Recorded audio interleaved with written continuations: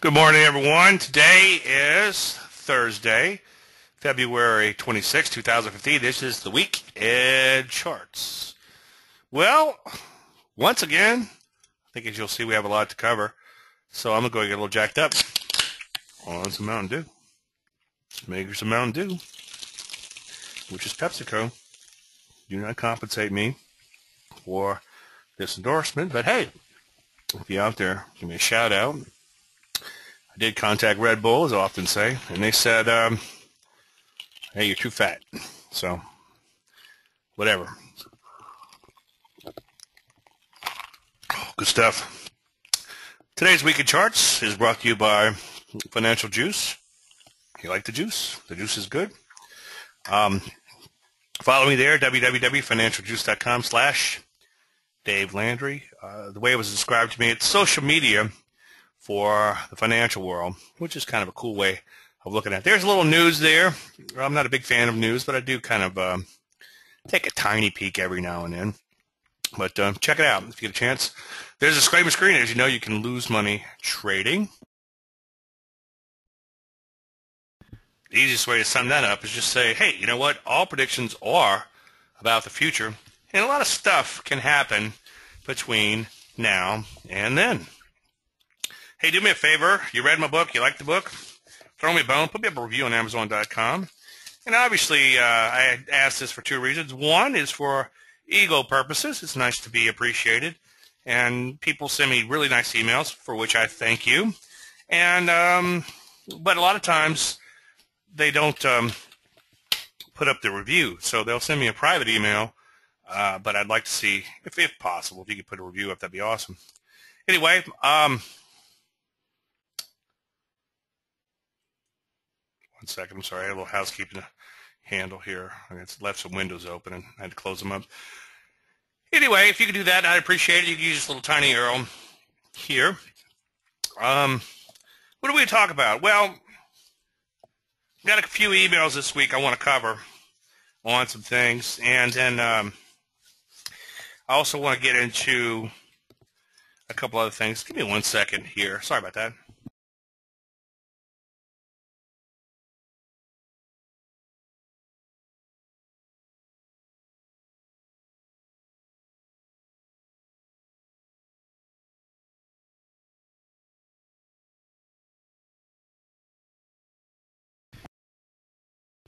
Sorry about that. My uh, my pen got packed in my bag, and uh, I can't do these presentations without a pen. So I just found my backup one. So let me just get that plugged in, and then we'll get started on this. All right, perfect. Okay. Um, I got asked about, uh, like I said, I got a few questions this week, and I got asked about a double top. Um, I'm sorry, uh, a TKO in uh, the DTO. So we'll talk about that. Um, I left this little trend versus big trend slide in, and that'll make sense in just one second. We have a dead money report that I'm very excited to talk about this um, uh, today. And then uh, someone asked me uh, in German, but I'm pretty sure it's what they were asking me, how can I go through several thousand charts a day? And I'm going to explain that to you in just one second. Frenchie said, how was the trip? He's back. How was the trip, dude? The trip was awesome. It was great to get out. Uh, to those of you who are my Facebook friends, um, check out the pictures. I, I, one thing that was really kind of fun was to see Italian Pride, both old and new. We had a private guide for um, a tour through Bologna, and many things that I've walked right by before. I was just amazed to actually know what they were. Many things I didn't even look up to see were over my head. So it was it was incredible having a um, a guide for that. Uh, my host, Emilio Tomasini, he knows I'm into cars, so he took me to uh, Lamborghini, Ferrari Museum, uh, Ducati factory, which is motorcycles, obviously. That was really interesting. And then we went to uh, Pagani and uh, Scaletti Museum. So really good trip. I did the um, the venue, like I said, was um, really cool. Uh, it's probably a 600 year old building, and they had a big, uh, I don't know what you call it in the background, fresco or um, I'll show my avian sonora, but like a huge painting in the background of the room. It was just really cool. So uh, if you're not my Facebook friend, be my Facebook friend. Um, there. So, and you can see some of the pictures from the trip, which was great. But the the people were awesome. The uh, the venue was sold out, which was exciting, and uh, they treated me like a rock star. It was just uh, phenomenal. Okay. Okay, let's talk about the. Did you see the new Ferrari 448? No, I was at a museum, so the ones in the museum were more um, a little bit older. They had like an F40, and then they had, uh, of course, the California, and um, quite a few. I don't know if I saw. There was one in there that might have been a 448, though. Now that I think about it, it looked more like a spaceship. I don't like the new ones as much as the older ones. The older ones are more of a work of art. The new ones are more like a spaceship. Anyway, let's uh, let's get to the markets. Sorry about that. I just get excited because uh, it was just such a such a fun time. Um, as you know, this is the USO. We're long USO, and it hasn't really taken off just yet. But the reason we're long is we have a first thrust set up. Notice that the market thrusted off the lows. Notice that we go back about, um, oh, I don't know, a month or so in time. So it's a pretty significant move. It's not just the pullback. It also notice that the, the acceleration lower has begun to sort of um, – sort of wane. You know, over here was pretty much a straight downtrend, and then now just kind of slowly started bottoming out in here. So that's why I think this trend could be turning. Now, I could always be wrong, obviously, and you could see where it consolidated here. Of course, it did set up, but then it dropped and made a new low, and then another consolidation and dropped and made a new, new low, another consolidation, and dropped and made just a marginal low, and then it started going up. So this right here looks like a turn so far to be. But you're always fighting with the transitional setup. You're always fighting the longer term, bigger picture trend. So keep that in mind. So yes, this could just be a um, a bump higher in the longer term downtrend. Now let's take a look at the question for the week, and, and that's one reason I left the question for the weekend is because it's relative.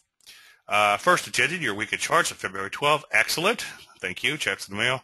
I purchased a book, The Layman's Guide to Trading. Topic for discussion. DTO, PowerShares, crude oil, double short, ETN. Okay, first of all, let me stop you right there. Couple of red flags in here. Okay? Double. Okay? I'm not a big fan of leveraged ETFs. Okay? The problem with a leveraged ETF is in the unleveraged one, like let's just say USO, your stop has to be, let's say this big. If it's two times leverage, then your stop has to be twice as big. And if it's three times leverage, obviously it has to be three times as big. So as a position trader, you're not doing yourself any good by trading a leveraged ETF. The only thing you're doing is you're going to create a bigger stop for yourself because remember, and I talked about this for two weeks in a row, you have to adjust your stop to the volatility of the underlying instrument. So that means that if you're using one times leverage, or which is zero leverage, then your stop is at one unit away. If you're using two times leverage, then it has to be at two units away, and three times three units away. A unit being how big, maybe a unit's a bad word, but um, the measure being how big or how far your stop has to be away to survive the short-term volatility of the market. Okay, so first of all, as a position trader, you don't want to be trading the leverage ETF. So that's that's the first strike against trading this DTO. The second is it's a short instrument, okay? Now, if you're shorting an outright stock, it's one thing. You're going to get a one-for-one move, okay? The options people call that a delta of 100.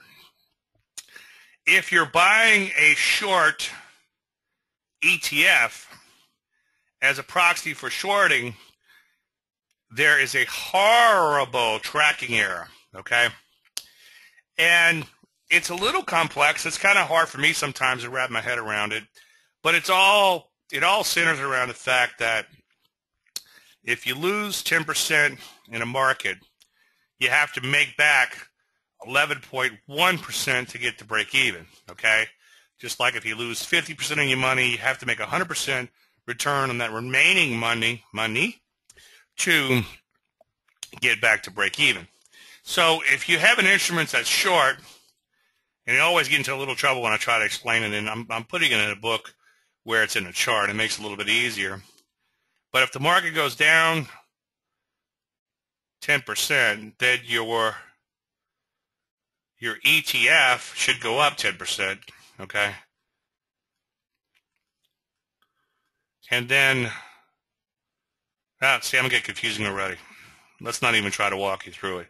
Just know that there is a what appears to be a decay due to tracking errors in a short ETF. Now, the third strike against the DTO is it's an ETN, which is um, does somebody knows exchange traded note or electronic traded note or something. Anyway, all you have to know about an ETN is it is a um,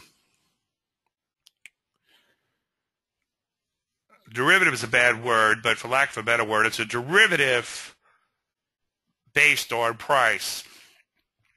There's no necessary, there's no no direct correlation that's necessarily between the two. You're you're taking a good faith that what they have done is represent represented is going to represent the underlying instrument.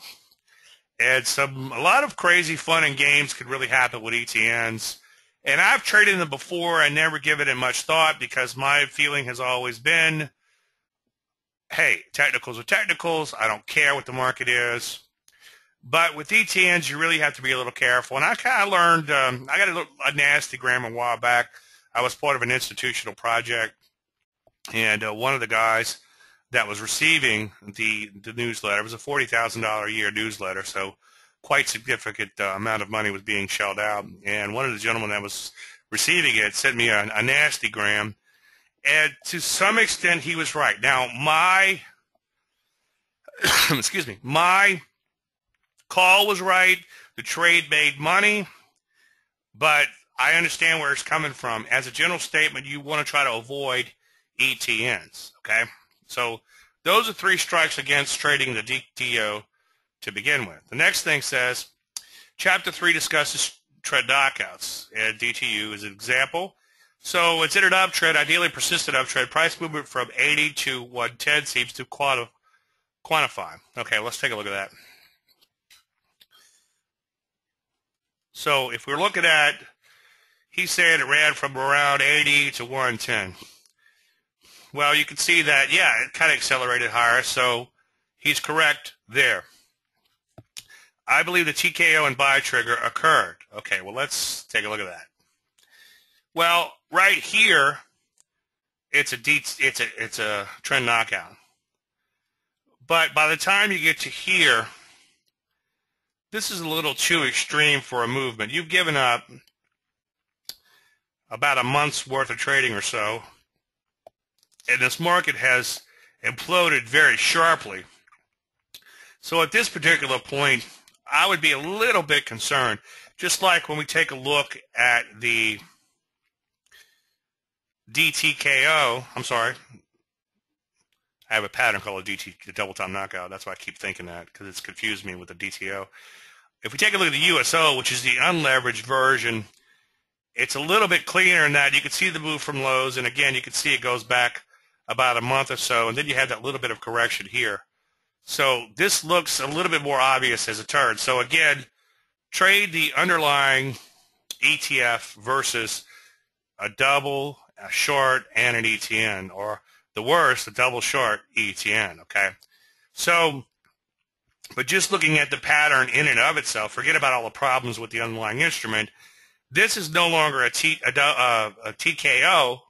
Try to say it again because it's dropped way too far in this slide. If anything, this looks like a possible trend that is turning. So his point is that, hey, it would have triggered here when it bounced up. And I disagree with that. I think this is too big to begin with. Now, one thing I did just for S&Gs was I flipped the chart over and it's a little bit easier to see when you flip it over.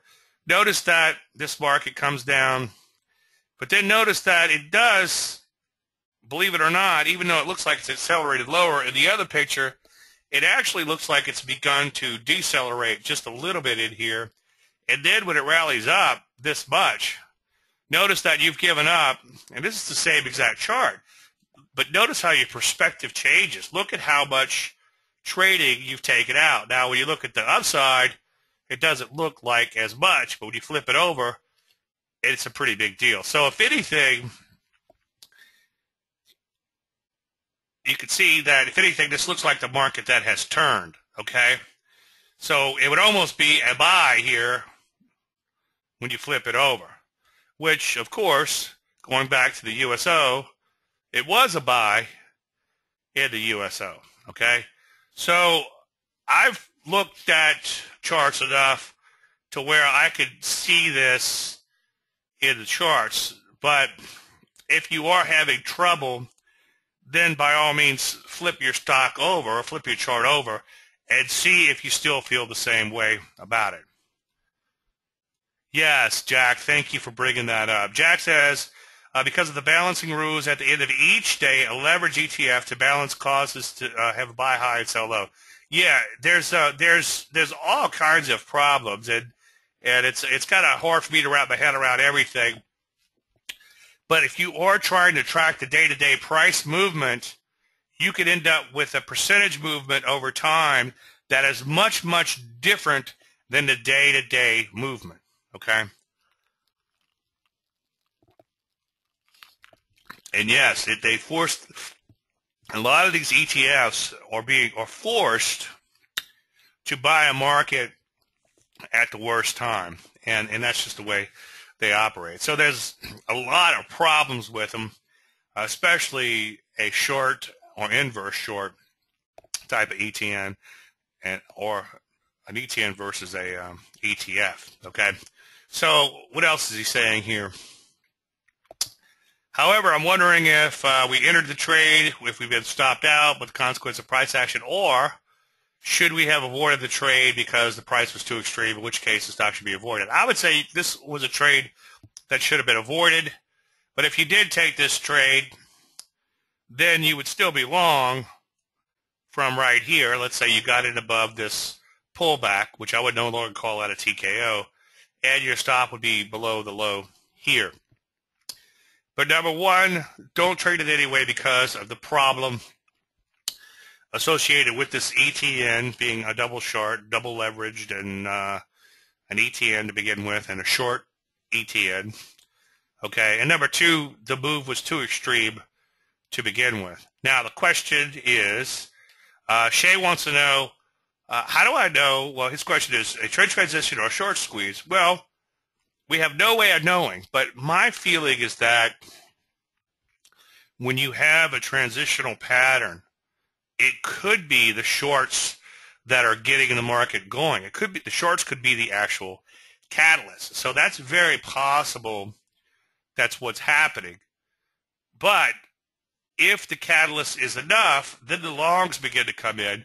And if all of the shorts aren't squeezed out, which is not likely, then more shorts get squeezed out. So some people some people often say, "Well, Dave, those trend transitions that just looks like a short squeeze," and maybe it is, but you never know if it's going to materialize into something bigger, and it might. Okay, so it's possible.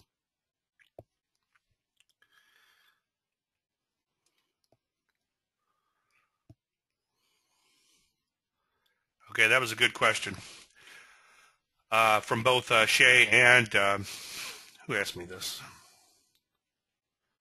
Ron. Okay, any questions on um, an ETN, a double leverage ETN, a short ETN, or anything along those lines?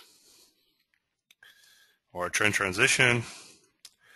What was it? What about the tiny arrow? The tiny arrow was uh, just to my book. To give, if you want to put a book, book review, somebody just got here late. They just saw a tiny arrow as go flying by.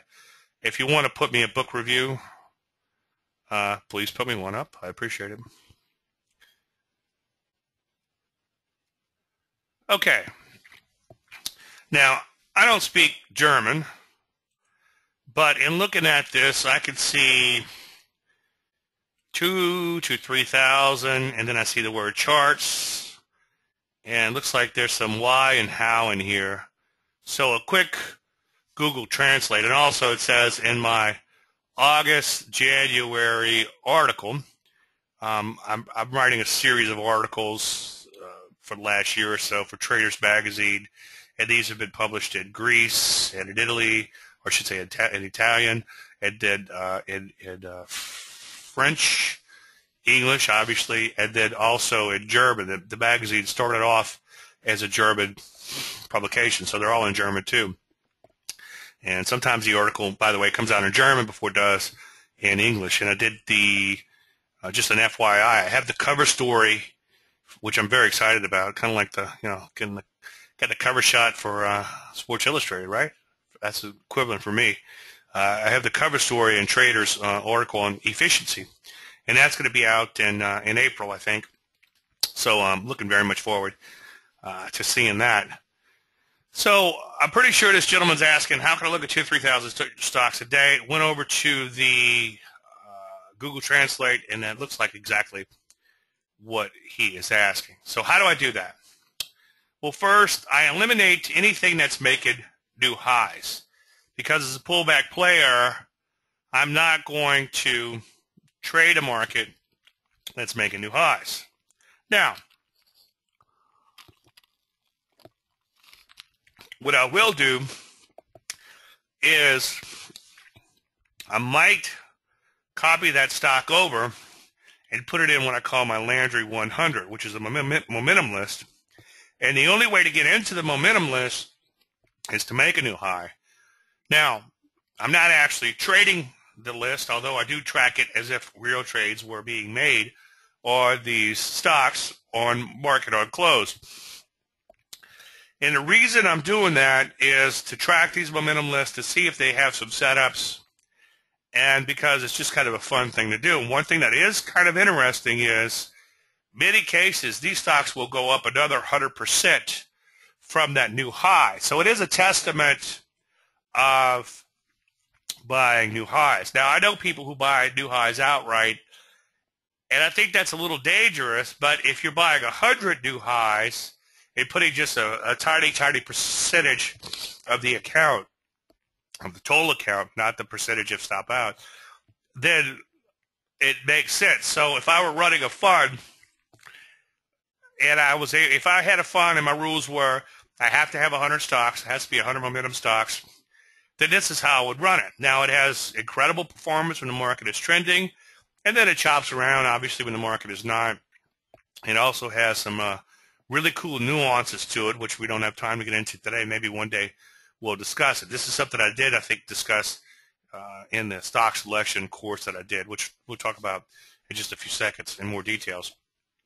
So I might save these stocks off to a momentum list, but I automatically know just at a quick glance, just by looking at one bar, I know that if stocks are new high, it's not a setup for my methodology.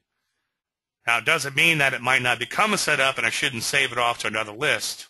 So I'll just hit like my F key to flag and I'll make a quick note of it to decide whether or not I want it in my momentum list. If I have a stock that's doing like this in my momentum list and I have a stock that's doing like this in the database, then when I go through my momentum list, I'll probably take this one out and put this one in and then see what the, see how it all tracks out longer term. But I can instantly eliminate just by looking at one bar, looking back here, seeing if it's a new high or sort by new highs. And then also I have a longer term monitor over here which shows me the last several years of performance.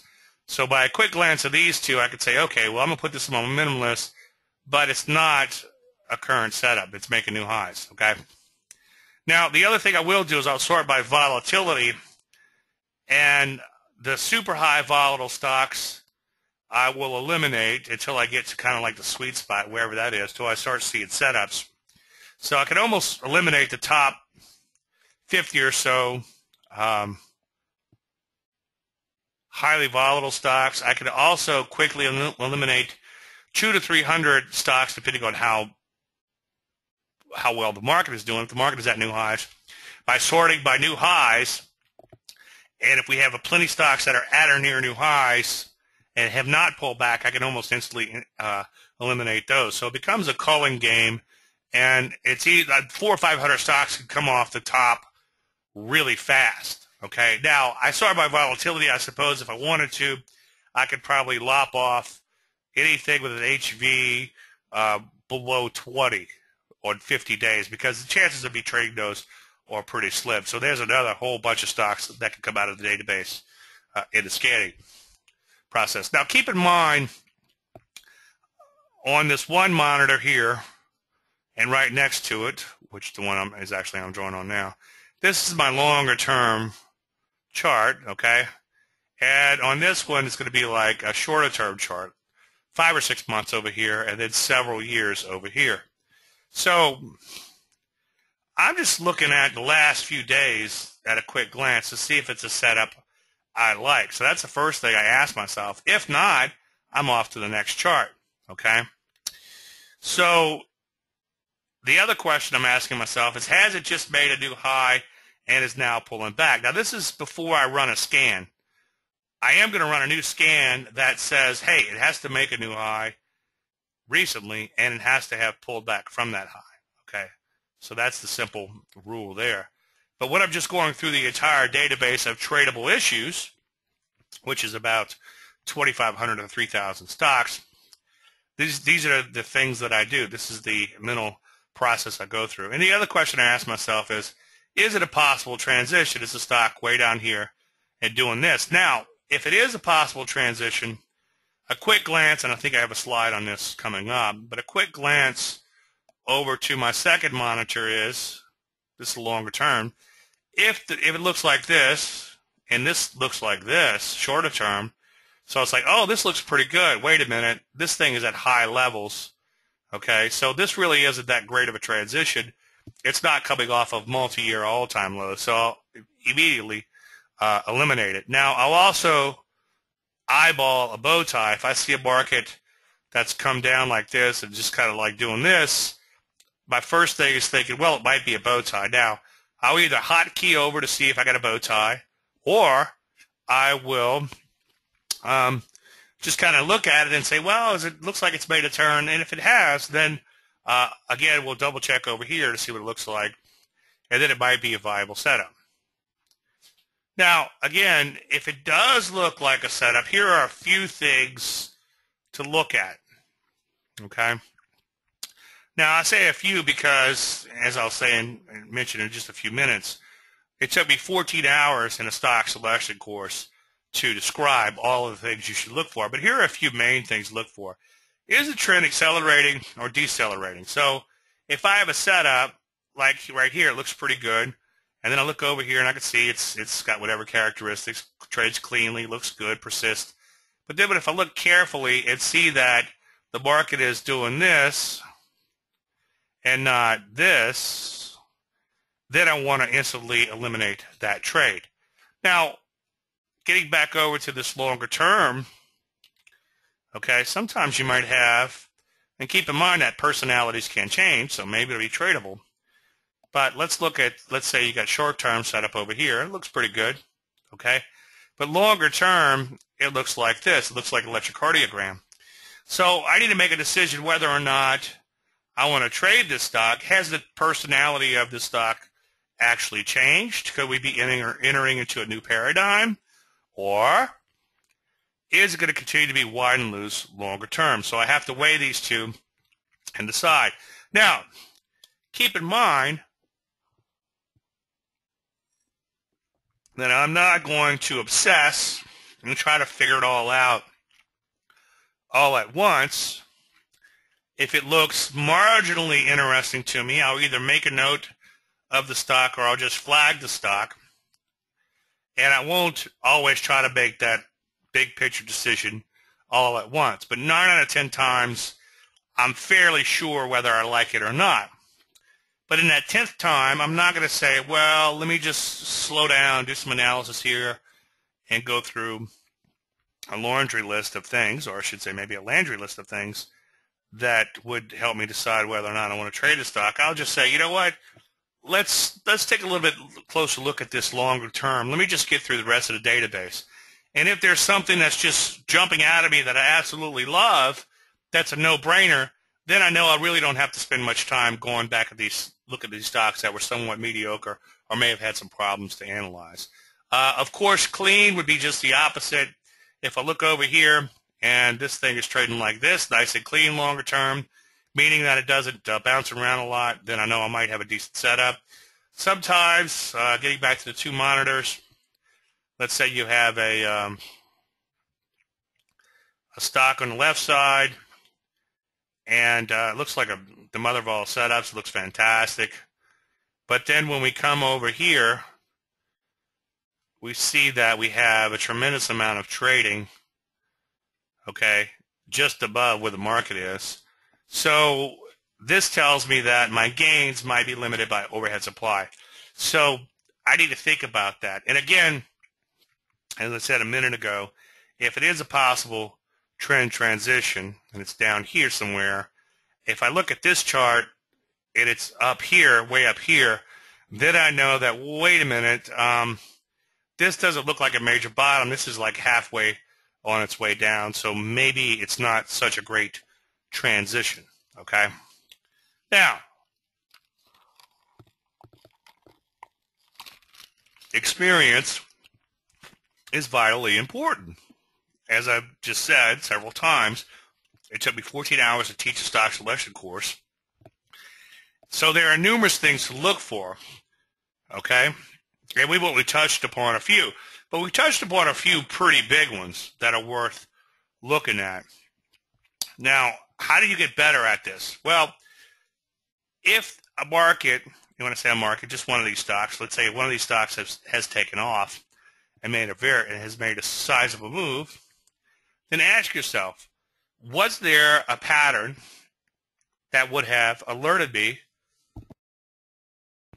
to this move? Is there something there that I could plainly see? Was there a a bow tie, a first thrust, uh, a persistent pullback, an accelerating momentum strategy type of setup, something very obvious that would have gotten me into that trade.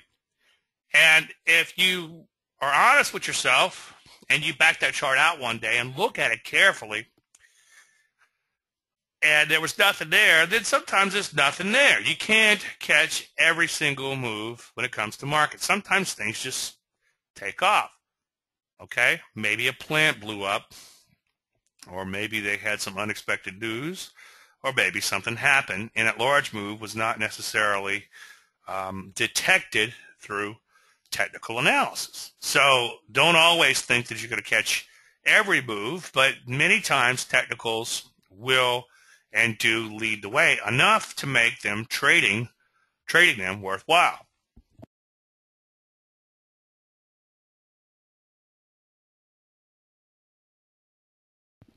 Have you ever used a high spike in volume for a day or two as a pre-qualifier for a watch list or potential buys. No, I don't use volume.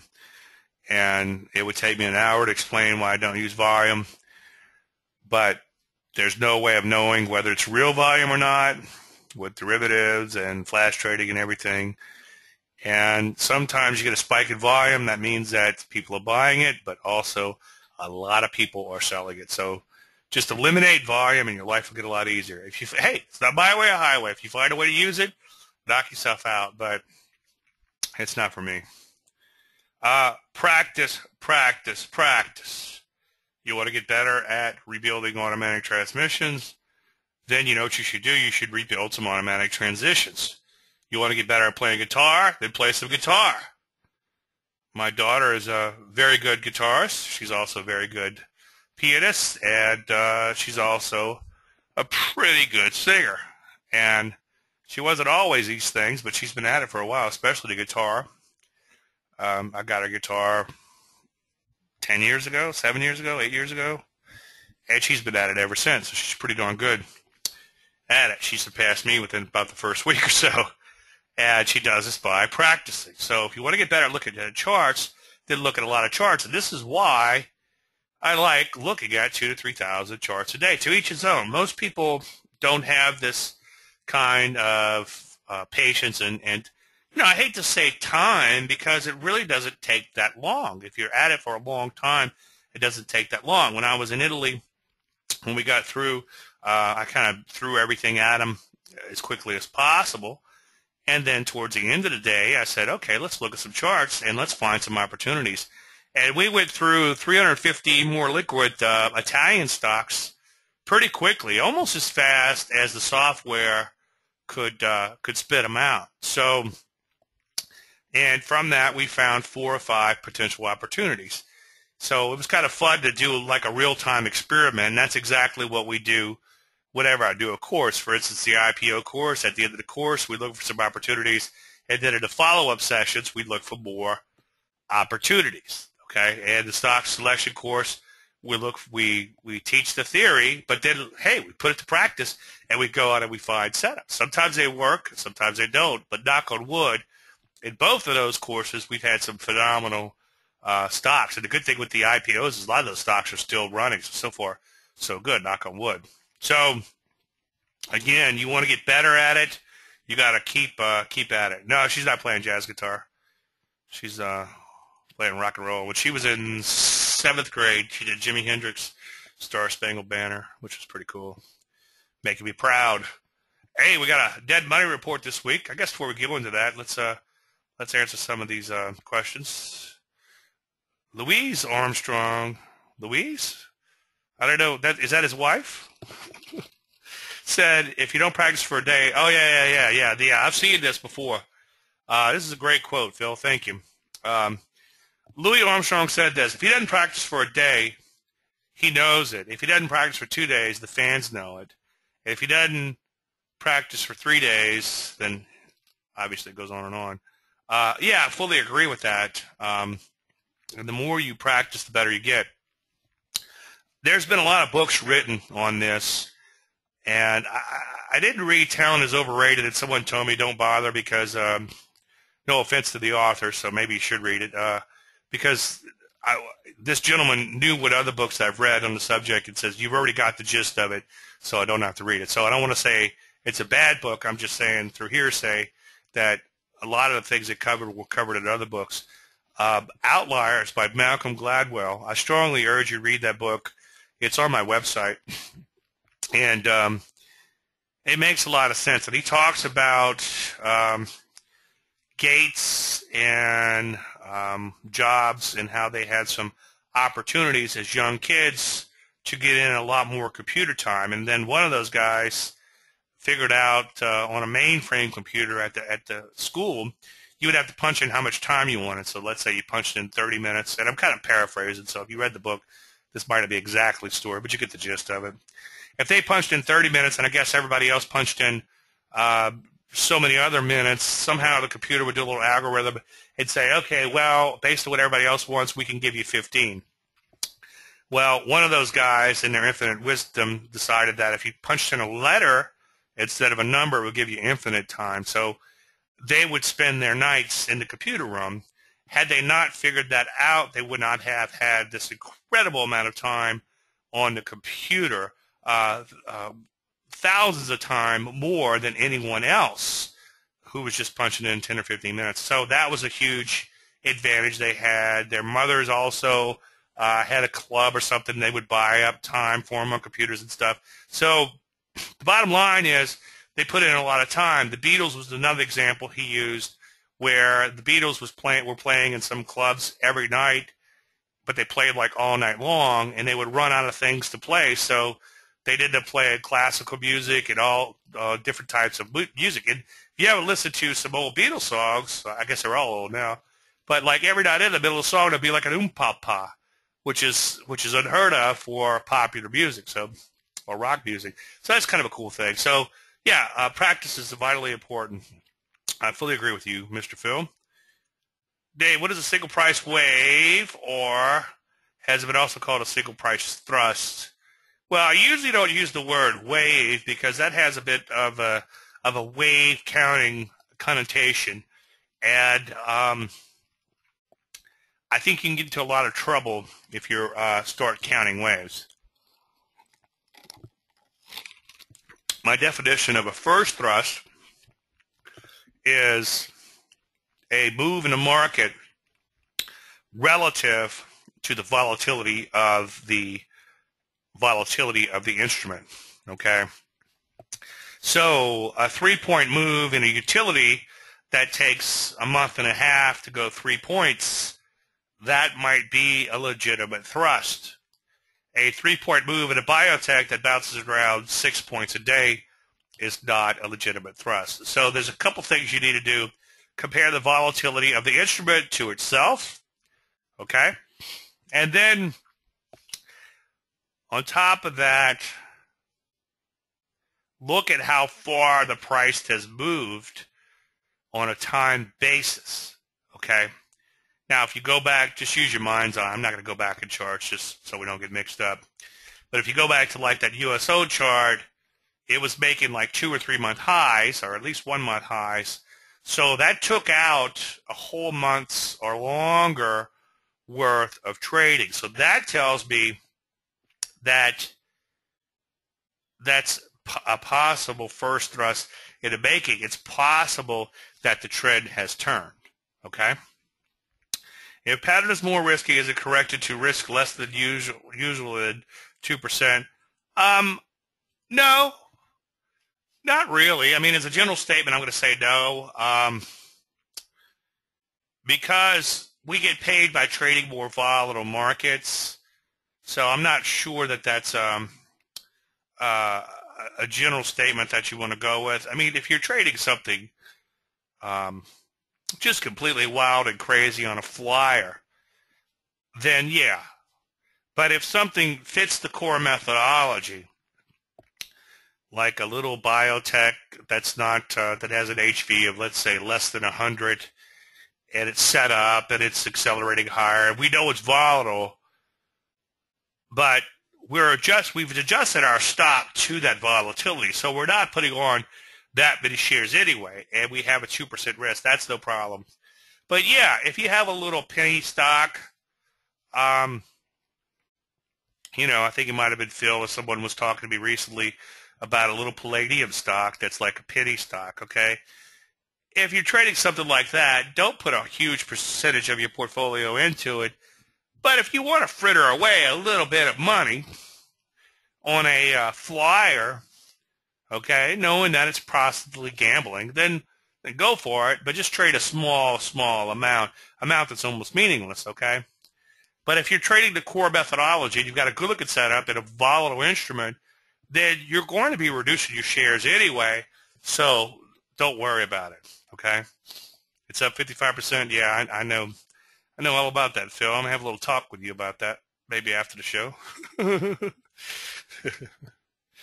okay, uh, we have a dead money report brought to you by trendfollowingmoron.com.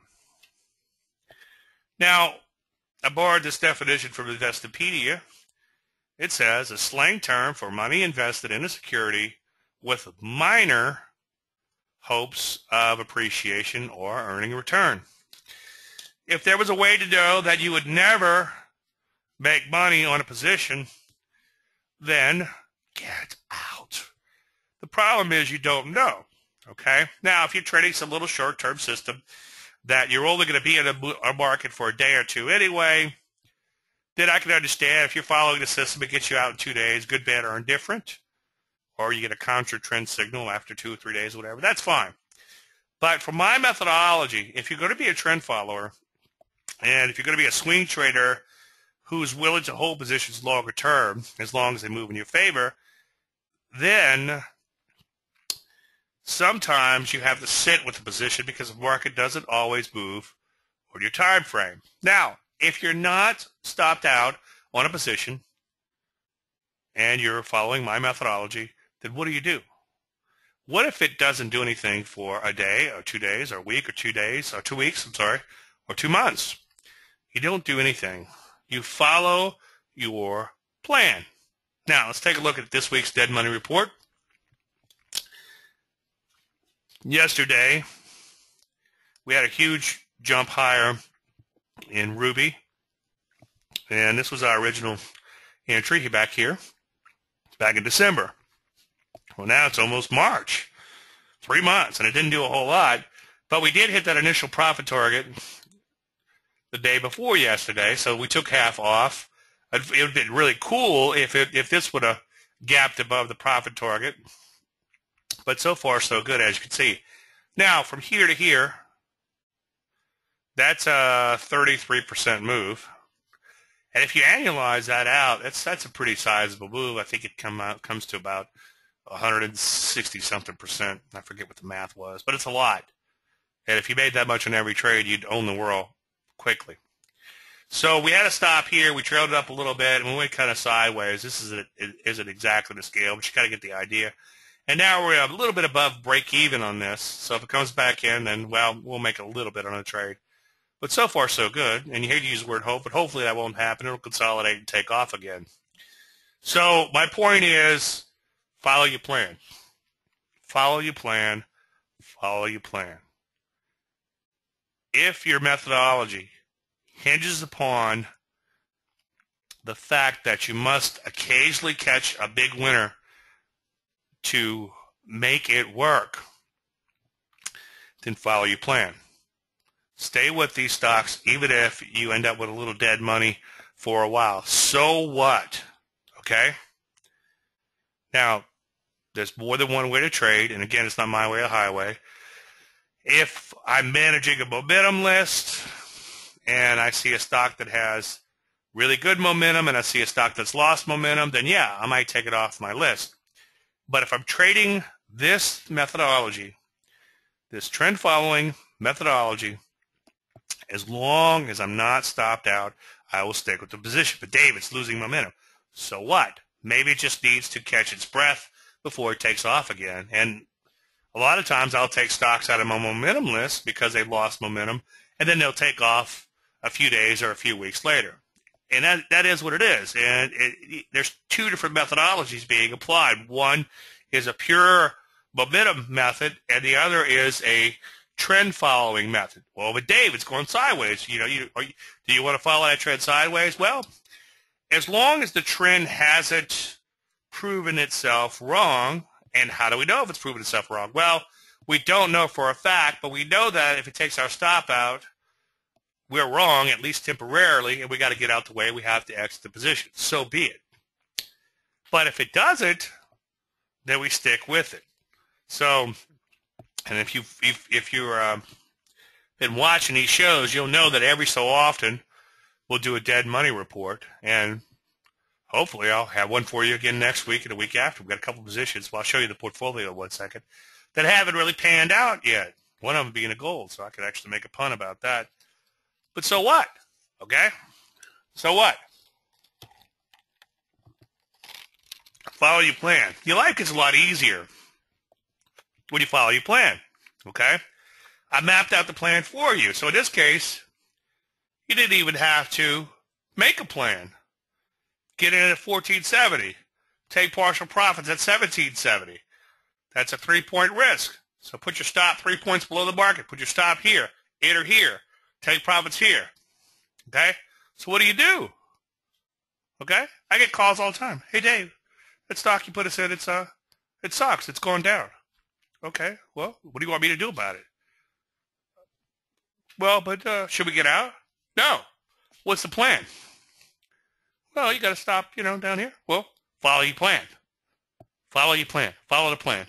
Okay? So I can't say that enough. But most people, they come in here, oh man, I'm feeling great. Making somebody, yeah, it's great, it's great. Oh, I better take some profits. No, follow the plan.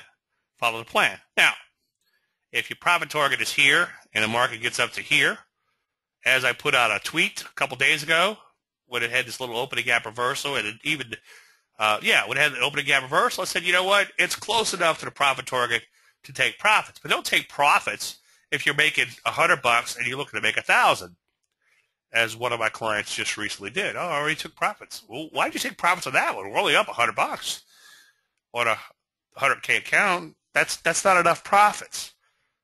So what do you do? You follow the plan. You follow the plan, okay? If you don't follow the plan, you're never going to get big winners like this, or it's going to be rare that you do. Yeah, every now and then you get a stock go straight up. That's wonderful. 99.99% of the other time, it doesn't. The market doesn't always move on your time frame. Shay says, I'm finding it hard to gather the psychology required to have patience. Any advice? Yes. Follow your plan. My throat's kind of scratchy from the trip, so I can't I can't scream it. but yeah, follow your plan. Um, now, there are some tips and tricks, and, and I, I love getting into the psychology of things.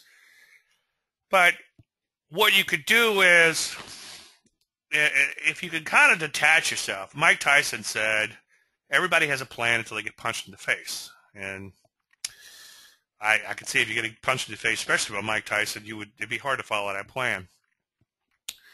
So in trading, when you begin losing money or you're watching this dead money, so so to speak, sit there, you begin thinking about. Oh, I'm losing this money. It's it's uh, tying up part of my account should there be something better I should be doing? Blah blah blah. You'll start all this. Um, I wish I could say the word, but it, it, it it's not. Um, I don't think it's PG-13. But anyway, you start all this uh, mental thought process, okay? And there's no need to waste all that energy on the position when all you have to do is follow your plan. Now, a tip to following the plan would be, and I think this came from uh, Douglas. Whenever I'm not sure uh, where I got something from a psychological basis in trading, I always give it back to uh, Mark Douglas because he's had the biggest impact on my trading career, at least early on. His first book, The Disciplined Trader, was a really good book. And um, I don't remember the second book, as I said before, having a big impact on me, but it was it was good as well, but not nearly as good as the first. And the first one, I think, has – it's not written perfectly. It's got some um, errors in it. It's quirky, but it's not maybe polished is the word I'm looking for. But what he said uh, made a lot of sense to me and struck a chord. And I think one of the things that he said was to sort of view things like you're viewing viewing a movie. Now, I get emotional and caught up in movies, um, but I know it's not. I know it's not reality. Okay, and I know it's not actually happening to me. But I go through some of the emotions uh, as it was, you know, but you, you, you can still detach yourself from it. So kind of view things as kind of like seeing a, a, a watching a movie. And I still drop F-bombs, don't get me wrong, but I try to replace as many F-bombs as possible with oh, look at that. That's that's interesting. Or, hmm, as opposed to getting very emotional. And as I've said a thousand times, now, first of all, just because you decide to start trading doesn't mean you no longer have a pulse. As I've said many times before, I'll drop a few F-bombs and then go for a walk around the block, which is about two miles where I live. And when I get back in, all the positions have turned back around and I'm back in black, at least from where they were. So what started out as a a shitty day, and I get all pissed off. So much for PG-13, I guess. I come back in and I realize, why did I waste all that mental energy? So try to detach yourself as much as possible. Try to see things as like watching a movie. You need to see it as happening and not happening to you. And I know that's difficult, but with a little time, I think you'll get it. And I think that's a, little trick that you could use. But again, follow your plan. Now, what's another trick? Well, let's say you suck at following your plan. Got quite a few clients that suck at following their plan. They can't do it. Okay? And I wonder if they'll ever be able to do it in spite of email after email after email.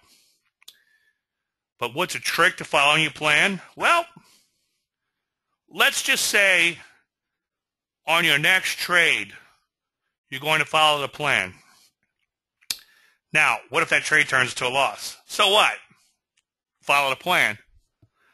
and reward yourself not for whether the trade worked or not, but for whether you followed your plan or not.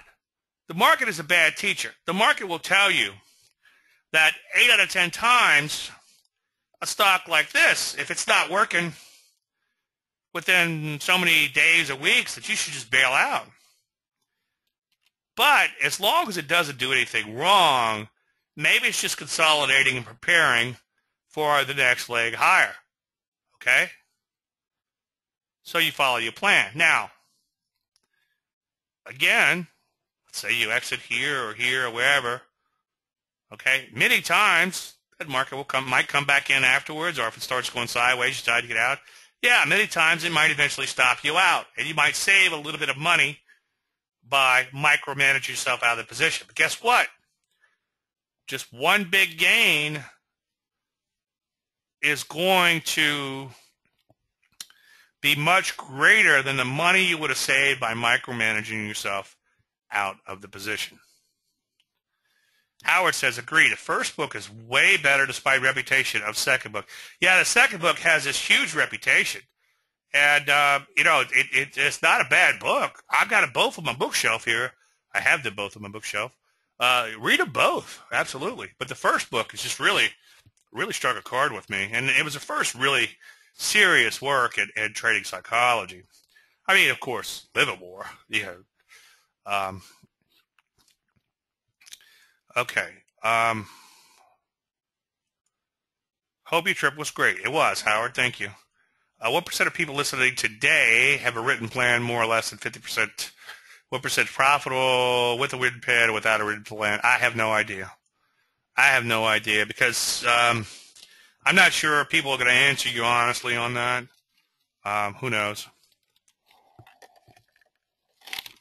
Okay, uh, Art says, how do you determine your profit target? Um, that's a very lengthy conversation. Uh, the bottom line is it's the same distance for the initial profit target. It's the same distance as the stop. So we're looking for one to one on the initial trade. I have two uh, seminar, and each week I say this. I keep nobody's asked me, so they must be out there. On YouTube, I have two weekly charts that I put out there. They were back to back, just on setting stops. And then if you go back further, I have two webinars on risk uh, versus reward, and there were two. Uh, we ended up spending two weeks on both of those topics, so four weeks total. So uh, go in and, and read those, uh, see those YouTubes. If you can't find them, uh, let me know, and I'll try to figure out which which ones they were. I, I I don't do a great job of archiving all these things. I just put them out there, but I need to start describing them a little better. So I realize that's a problem. The problem is on the next trade, you wonder if you could plan correctly. Well, uh, yeah, I mean, that comes with experience. It, with experience, you know where to get in, where to get out, and where to set your stop. Now, I don't want to blow too much smoke, but I've been at this a while, and I have a pretty good idea. I have a pretty good idea where to get in. I have a pretty good idea how to pick the best stocks. I have a pretty good idea how to eyeball the volatility and set the stop and set the initial profit target. So I do all of these things in my trading service Okay? And then right there. Okay, does it always work? No. Am I interviewing myself? Yes.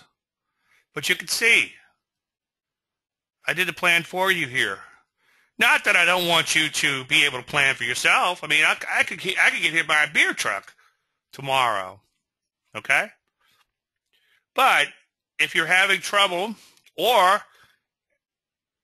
if you would like someone to be part of your staff and to find setups for you or help you find setups and help you set those stops. Okay? If I could find just one, like if let's say you didn't see this Ruby, well, you're doing pretty damn good and you're pretty far ahead of the game. Now, my service isn't cheap, okay? And that's to keep the uh, keep the riffraff out, right? Uh, but you get one of these trades a year, and you play you paid for the service uh, maybe several times over if it uh, keeps running. Now, let's say that here's the deal. Okay, it's 1660 the second loaf. Let's say the stock runs to 100. It could happen. Okay, Well, if that happens, then you're going to be up, let's say, another 80 points. And you got 333 shares. So that's another $26,000. Okay, so round numbers, really round numbers, you could make, well, all, all together, this one trade could turn into a 30% gain in the overall portfolio. It doesn't happen often, but it can happen to where you have this huge winner. All you need is a few winners. If you've got a stock that made 30% in your overall portfolio, and you only risk 2%, okay, and you made 30% of your overall portfolio, then obviously you could have quite a few other losers and then quite a few other mediocre trades, and you had a pretty good year. So catch one or two of these big winners a year. Is this going to turn into the mother of all trades? I don't know. I have no idea. That's what being a trend follower is all about. So, you know, like they say in Frozen, let it go. Let it go. Let it go. Okay? And follow your plan while you're at it. And just let it go. It's that simple. Okay? I never said it was easy. It's that simple, though. I drop a lot of F-bombs. I don't throw too much stuff, but every now and then I might throw something. Okay? So I still have a pulse. I still get pissed off. I'm still human. But over the years, I find myself doing that less and less and less, and it just is. And it's like I'm almost at a point where I'm flippant. I get into the position, I don't care. Okay? And and not completely flippant, but almost to a point where it's like, so what? If I know deep down that it looks good and it's viable, okay, then so what? Let the chips fall where they may.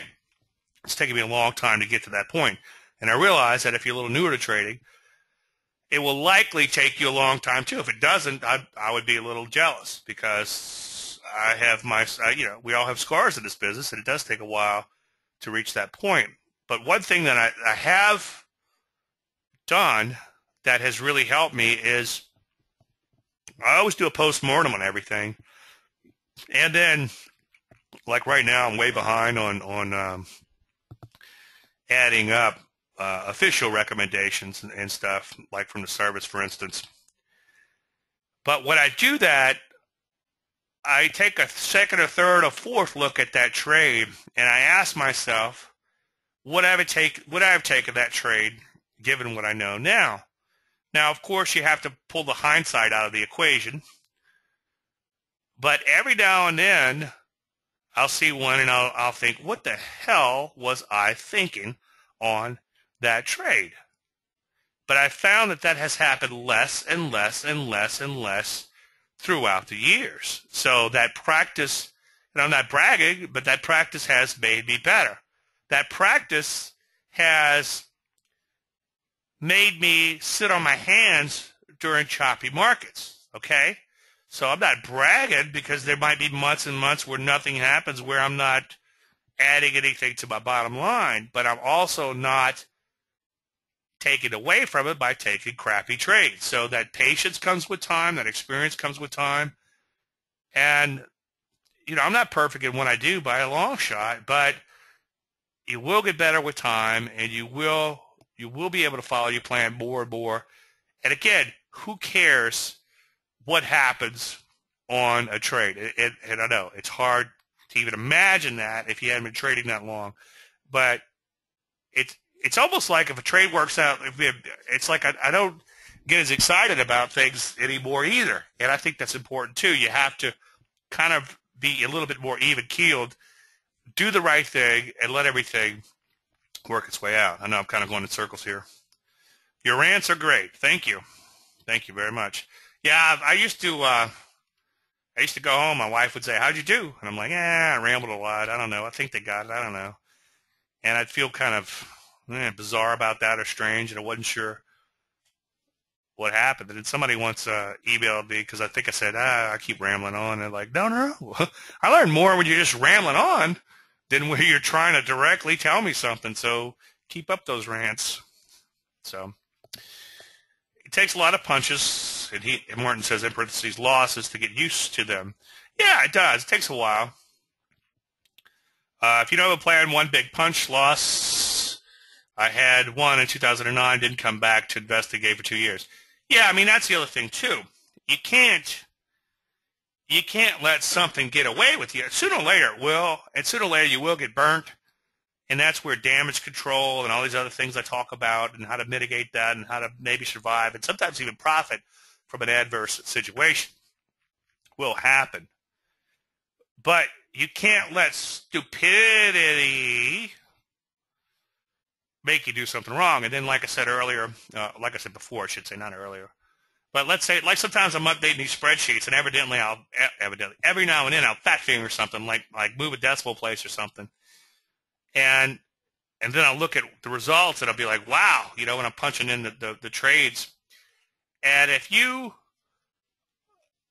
if you let's say you've got um, oh I don't know twenty thousand dollars in a position, and you let that thing go against you, you let it go to zero.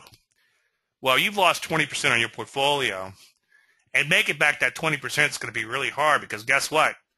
Maybe somebody could do the math for me. What's um, would it be like one hundred divided by eighty? Would that be it? Yeah, you got to make back twenty five percent of your entire portfolio to make back that one loss. And that's not going to be an easy feat. So you have to be diligent in the way you um, execute things. And then, I don't know if I said this before or not, but follow your plan. Uh, somebody wants to see the uh, open portfolio. There it is. Uh, this is the Ruby. We put that, we excerpted that uh, for the thing. This was the initial profit target. Notice you're, I'm not going to spend much time. Watch some YouTubes out there. I've got plenty of them out there. Or get the entire archives off my website on a flash drive. You want to watch them at home.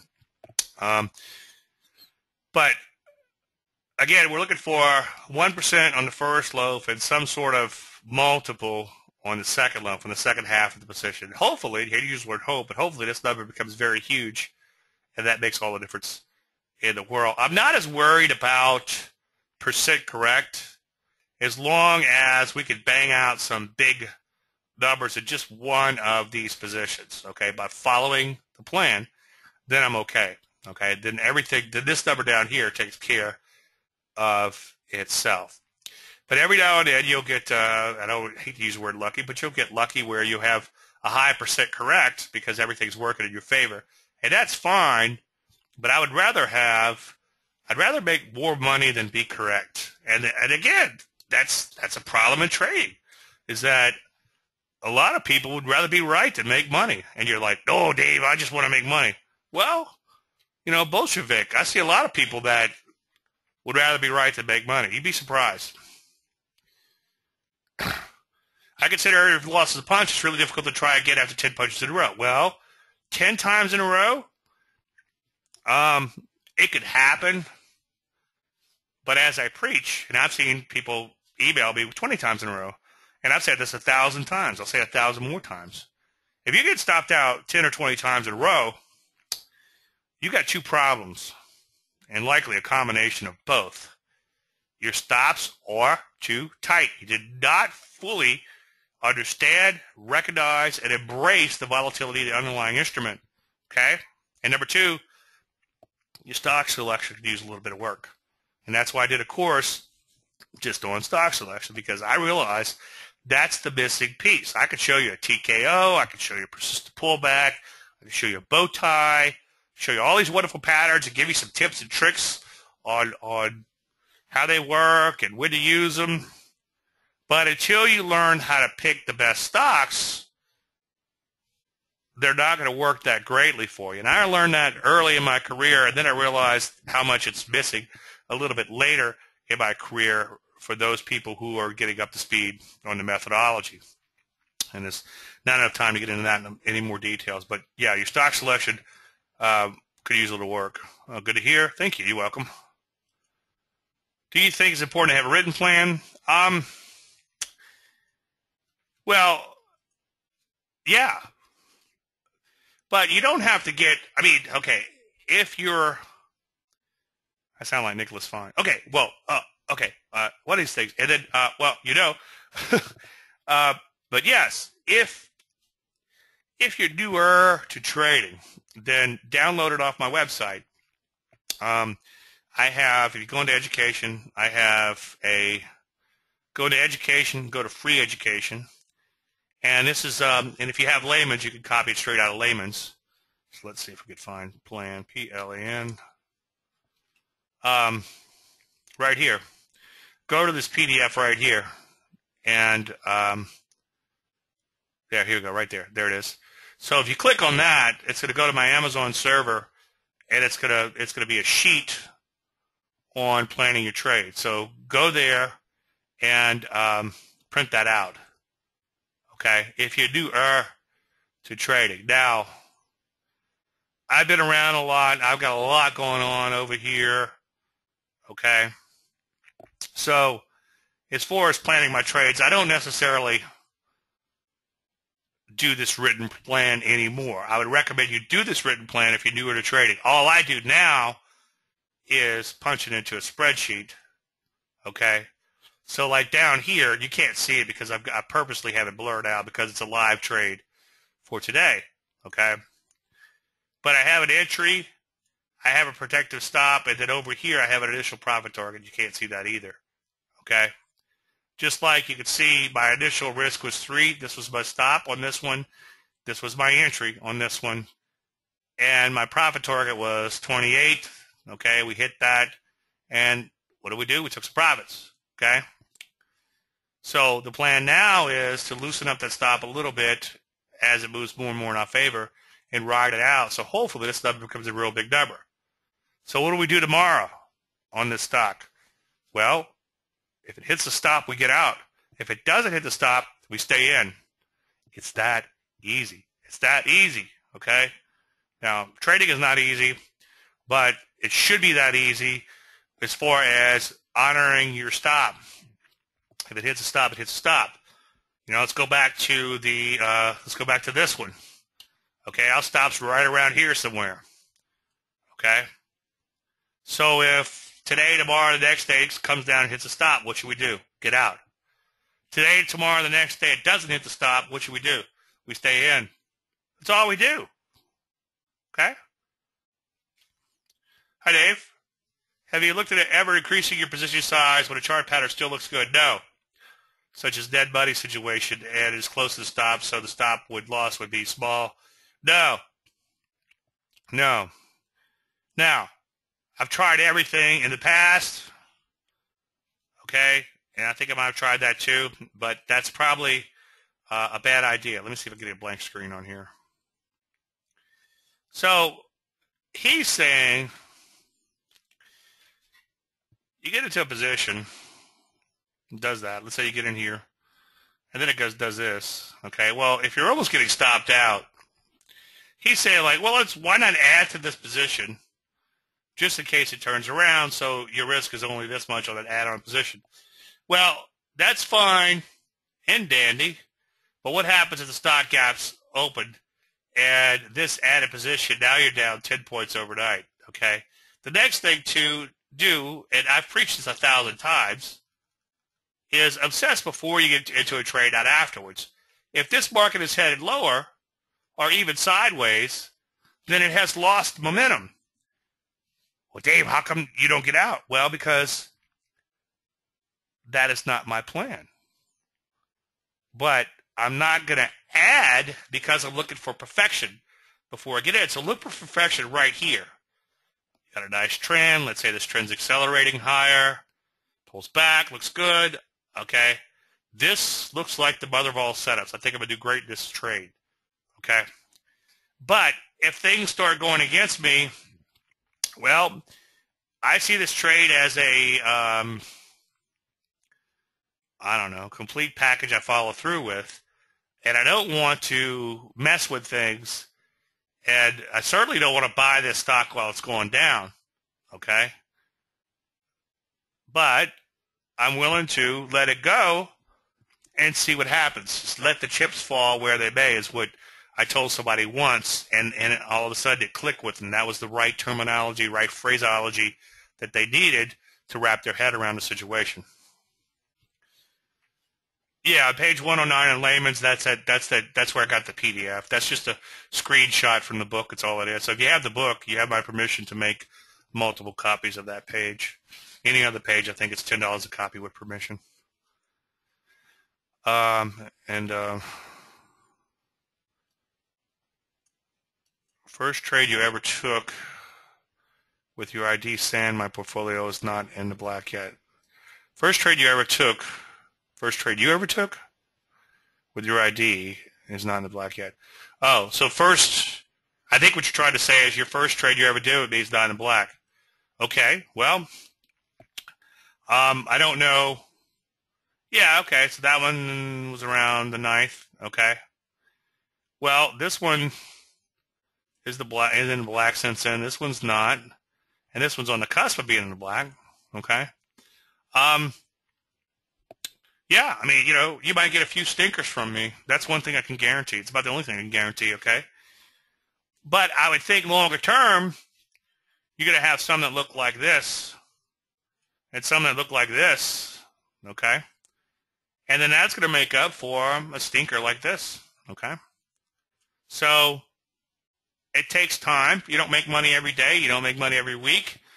And you might even go in trend following a year where you don't make a whole lot of forward progress. Most people give up before they hit the mother load in a methodology, and they end up perpetually out of phase. Nobody sticks with anything long enough. Now, there is one little random thought that comes to mind. Just be careful that if you are, let's say you're selling options or doing something leveraged and you're making money doing that, don't forget that there is there is a possibility you could blow up doing that type of thing. Okay, so I guess what I'm saying is don't let that um, initial success uh, go to your head and think that it will always be like this permanent income hypothesis. The the best traders, just to kind of keep the random thoughts going, the best traders that I have worked with are those who come in in less than ideal times and then have things improve versus those who come in in good times and have things um, blow up. As I've said before, and I'm not picking on this one person because I can think about four or five just off the top of my head.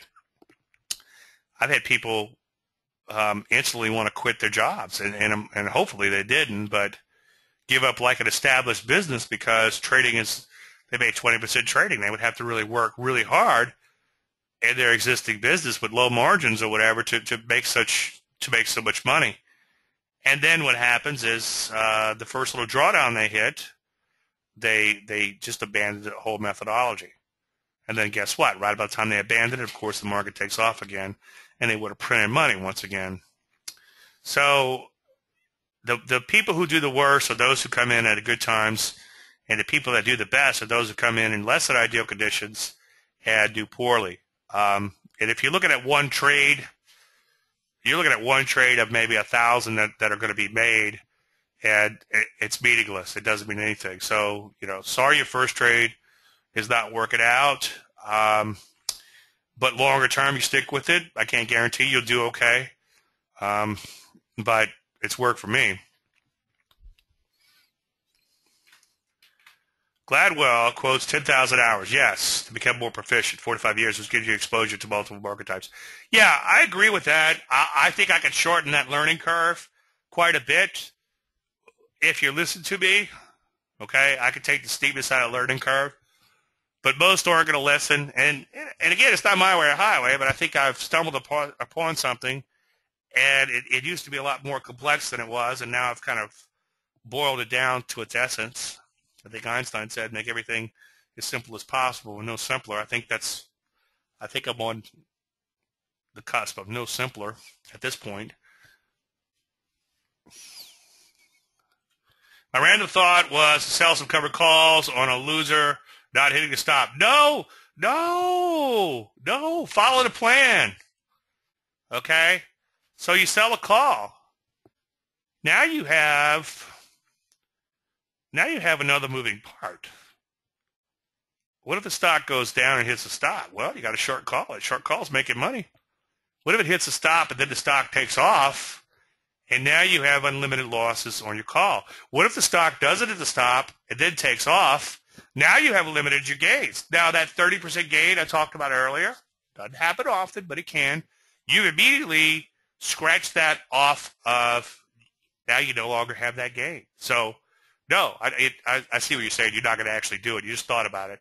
Yeah, don't don't add any unnecessarily any unnecessary moving parts. Again, boil it down to its essence. Make it as simple as possible, but no similar. No, no. Uh, if I wanted to invest fifty thousand dollars, two percent max position, does that mean I have to own fifty stocks? No, Gary. Go in and watch.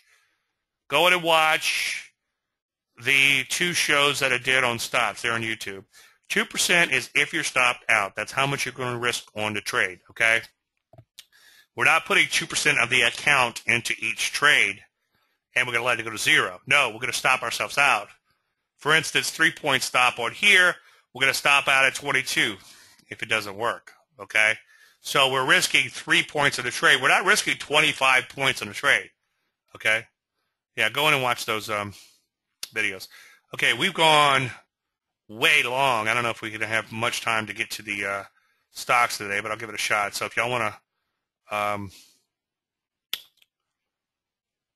start asking about stocks, do that now. I'll go through the markets as quickly as possible and I'll hang around a few more uh, days. I called Don. That's exactly what I was going to say. Um, okay, a couple of announcements here. Um, in prior shows, I said that in prior shows, I said I wasn't sure uh, when I was going to end the um, the special on the stock selection course, and um, looks like my hand is not forced, but um, I'm um, I haven't really done any outside marketing, and, and I've been approached to do some outside marketing. I think I'm going to probably uh, let that unfold, and that that just saves me from from. I don't want to market. I don't want to do accounting. I don't want to market. I don't do all these things. I want to look at charts. I want to do chart shows, and I want to trade. That's all I want to do. Okay, I don't want to do all this nitty gritty. So, um, it's possible that I could be working some deals with someone that will that will unload some of this from me. And, and part of that unwinding, uh, one of the things is I'm going to probably end up decoupling some things. And one of the first things that'll probably get decoupled, well, will get decoupled, is going to be the stock selection uh, course. Right now, if you buy the stock selection course, you get an entire year of the service free. Uh, the mechanics of making that happen with uh, some of these things that are going to be emulate, em, eh, emulated aren't going to really um, be so easy. So I think I'm going to decouple those things. In fact, I know I will as of Friday, uh, 3-6-15. Okay. Um, so right now, if you get the stock selection course, you get one year free of my trading service, and that's going to go away again um, in a little bit over a week. And you go to my store, check it out right here. Okay. Um, and if you do get a course, you do get unlimited lifetime support.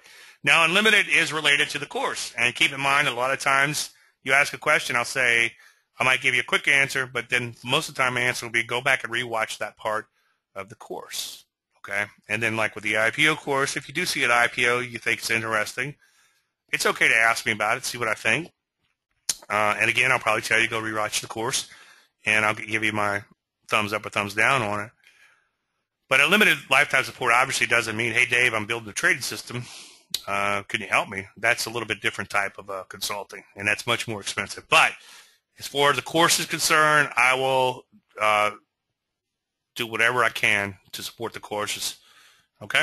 Anyway, uh, enough of that. So check that out if you're if you're on the fence stock selection course. I'm not. Um, uh, what's what's what I'm trying to say? We're we're just gonna just because of the way things are shaking out. I'm going to start decoupling some of these things. All right, enough of that. Let's get to the charts. Um, ran really long today. That was not my intention either. Okay, let's take a look at the overall market. And the lesson is, don't fight the tape. Don't fight the tape, okay? Yeah, we're down a little bit today, but so what? So far, market has broken out. P's have broken down in the range. So far, so good. Um, ideally, you know me, I want to see this market accelerate higher, look like that, and then have a little bit of a pullback along the way, and we'd have a plethora of setups. But in the meantime, we just take things one day at a time.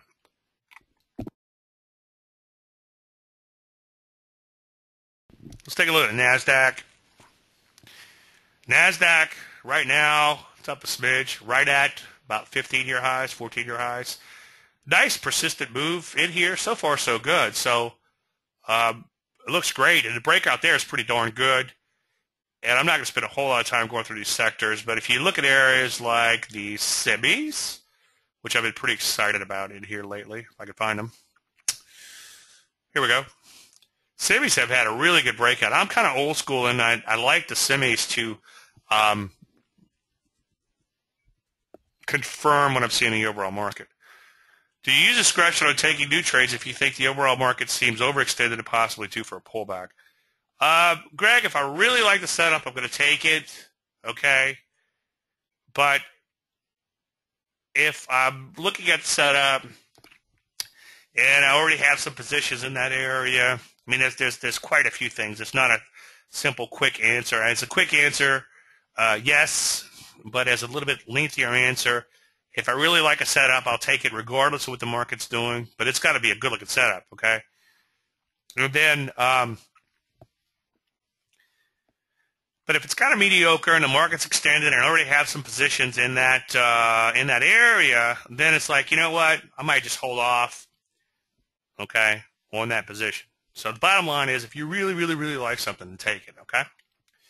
All right. Um, most sectors look pretty good. I'm not going to spend, again, a lot of time doing them. Uh, it's kind of cool that recently some of these sectors corrected, look like they might be kind of losing steam, like the drugs and biotech, et cetera but they turn around and going right back up. So flip through these charts of your sectors when you get a chance. Uh, retail at or near new highs, restaurants, leisure closing in on new highs. So most areas looking pretty good. Like I wrote in the column this morning, some areas like utilities and real estate or anything that's interest sensitive could be in trouble. I still think the energies are bottoming out, and I thought gold has bottomed out, but um, honor your stops just in case because it Seems to be taking a while to get going. Trans, you want to take a look at the trannies?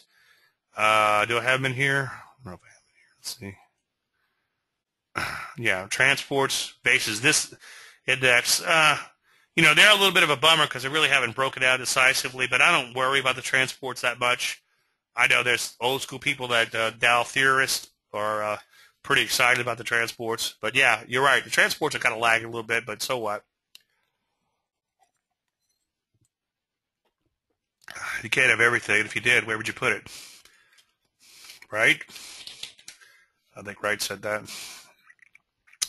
Okay, UAN. Well, I don't like today's gap.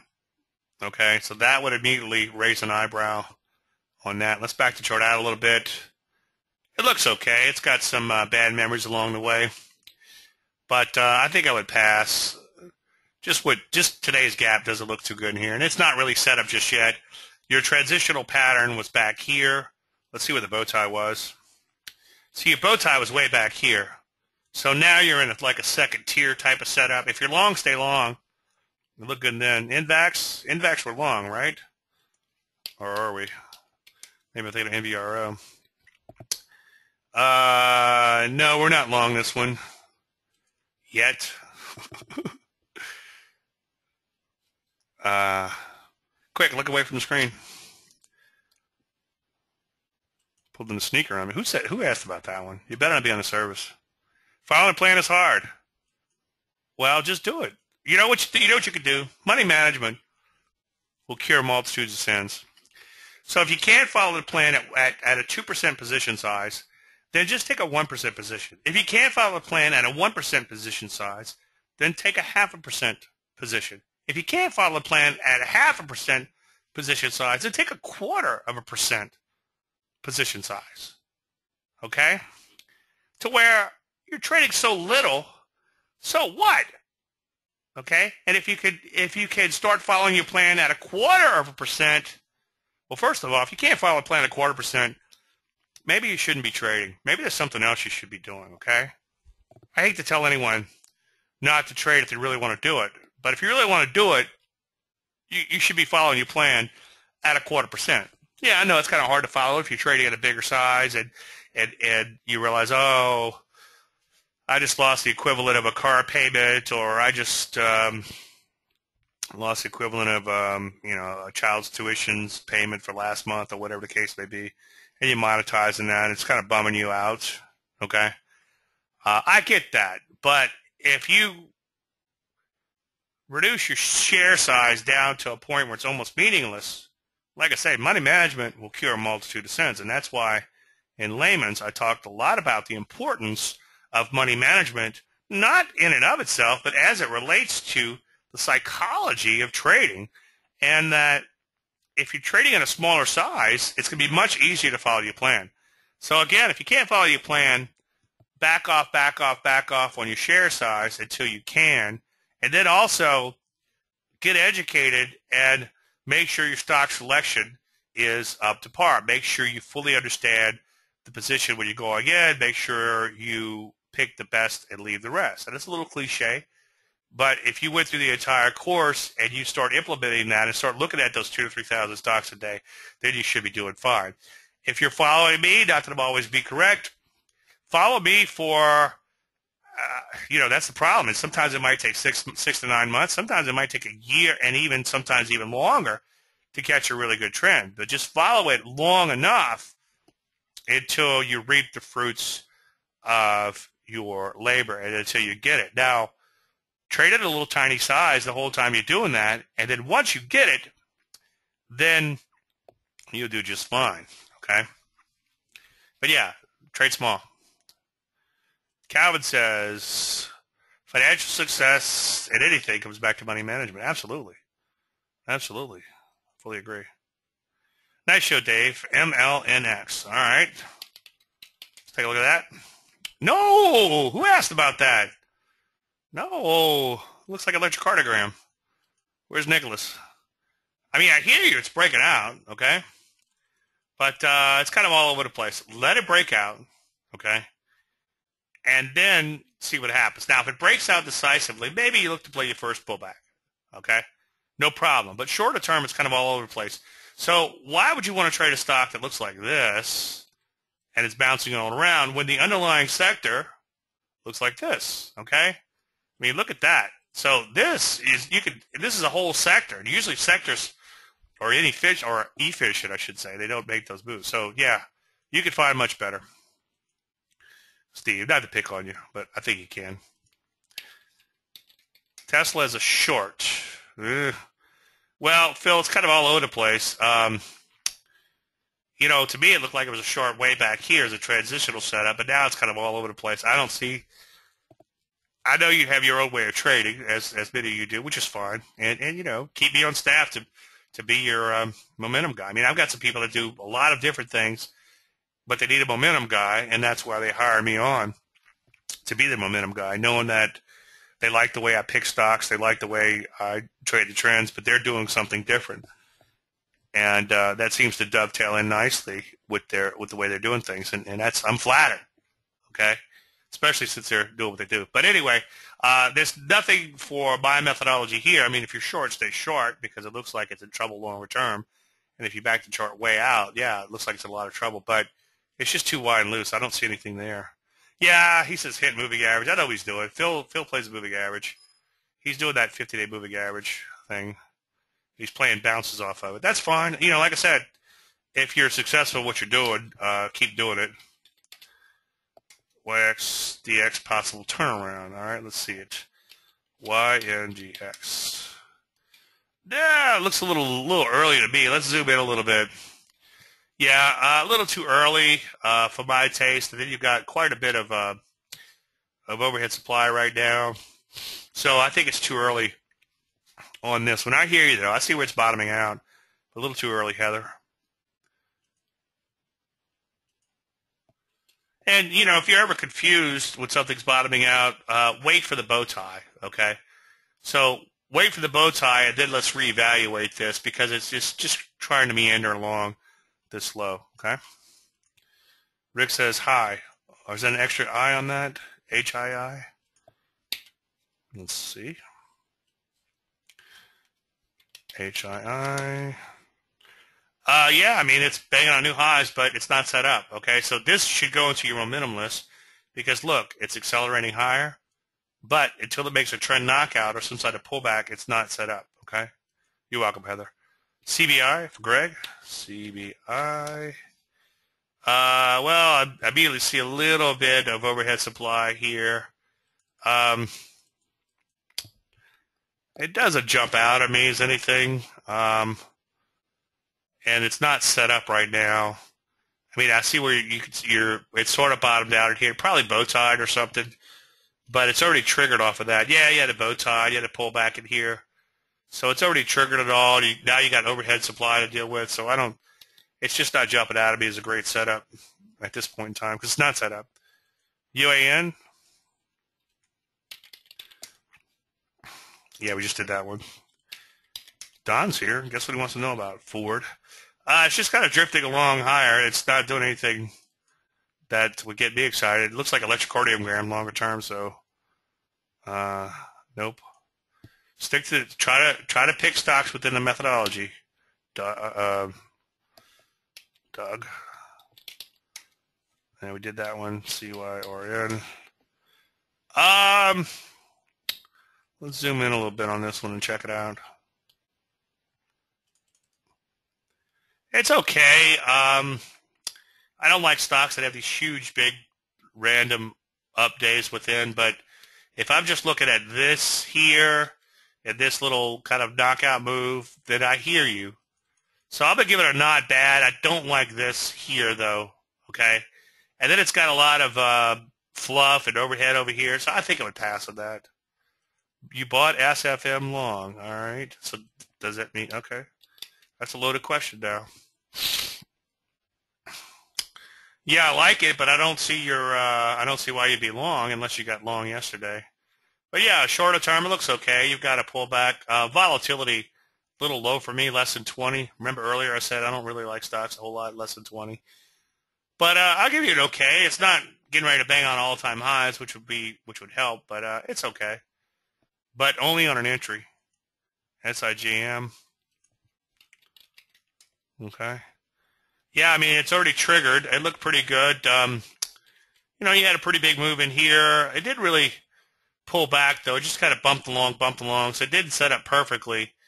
But I hear you. So far, so good. But it would have to keep breaking out and then uh, pull back again. I'm going to have to shut things down in just a minute. Uh, Chris, not too bad. Uh, I think you asked about this a little while back. It's gotten through most of its overhead supply. Uh, it's okay. It has some more overhead supply to deal with here. So I'm going to give that an okay. Um, my only other concern is that it ran from 125 to three bucks and change. So that's like a 300% move, uh, round numbers. So that's a little, little bit, uh, a little bit too much on the cusp of too much of a move. Do the odds favor continuation for the second time price is moving through support or resistance as opposed to just the first time? Is the idea behind a pullback methodology? Well, I'm not sure exactly what you're saying. Uh, but we are trading pullbacks. But if you do have, um, I mean, if you move, if it, if if the resistance, let me see how to do this. Um, if the resistance has already been broken, then I don't worry as much about this. Okay. If the resistance is above the market and it hasn't been broken through yet, then I'm concerned about it. I hope that I hope I answered your question. Uh, if not, uh, shoot me an email. We'll uh, cover it next week. Uh, look, uh, we're we're kind of ran a little long today, so I want to shut things down just so we make sure we get a good recording. Um, as you can tell, I love doing these shows. I have a blast doing them. Thanks for showing up. I appreciate it. Uh, don't forget, again, uh, the stock selection free year to service will no longer be part of the stock selection course beginning next Friday. I guess next Friday at midnight. So if you're interested in that, if you're on the fence, let me know, and um, and make sure you you take care of that before next Friday. And this might be one of those things where I can't undo it once it's undone. So if, if I'm letting someone else take it over. Anyway, I feel like I'm apologizing for that. But uh, uh, everybody have a fantastic weekend. We'll talk again. Anything I answer, davelandry.com. I'll either answer you directly or if it's um, a more detailed answer, I will. Uh, I'll, it'll be fodder for next week's show. Thank you, Dave. Uh, thank you, Dave. Dave says he's uh, he's going for the course. I appreciate that, man. Um, have a good one, and uh, I guess we'll talk again next week. Thank you so much.